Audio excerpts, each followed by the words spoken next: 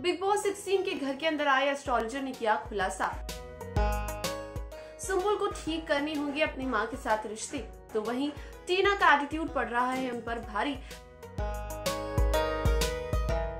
जी हाँ क्या ये पूरी अपडेट हम आपको बताएँगे इस वीडियो के अंदर? कुल बिग बॉस 16 के इस वीकेंड कवार पर घर के अंदर हुई है एस्ट्रोलॉजर की एंट्री जी हाँ जहाँ ये एस्ट्रोलॉजर जो है, वो सभी घर वालों की भविष्यवाणी करते हुए नज़र आने वाले हैं। जहाँ सबसे पहले टीना दत्ता के बारे में वो बताते हुए नज़र आएँगे और कहेंगे कि टीना दत्ता इतनी टैलेंटेड है कि अगर उन्हें जंगल में भी खड़ा कर दिया जाए तो वहाँ वो अपना बंगला बना लेगी।